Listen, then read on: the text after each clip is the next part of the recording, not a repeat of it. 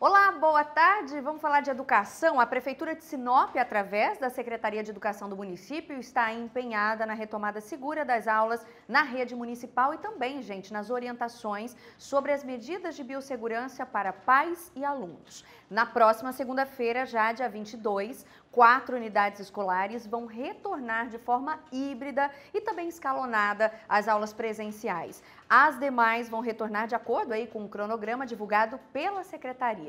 E em parceria com a Secretaria Municipal de Saúde, também está sendo feita a testagem para coronavírus em todos os servidores da educação e realizando também distribuição de máscaras infantis. Para que não haja disseminação do vírus e contaminação dentro das escolas, a Secretaria Municipal de Educação está tomando todas as medidas de biossegurança instituídas pelos órgãos de saúde. Neste momento, nós solicitamos aos pais todo cuidado. É um momento é, de retorno com uma conscientização perante a sociedade.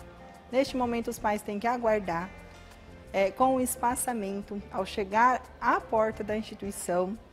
É, temos o tapete sanitizante, temos a aferição da temperatura, é, o álcool em gel, a higienização das mãos. Então, este é um momento de retorno com cautela tanto para os profissionais da instituição como para a comunidade. É isso, gente. Eu fico por aqui. Daqui a pouco, mais informações é só dar o play na notícia.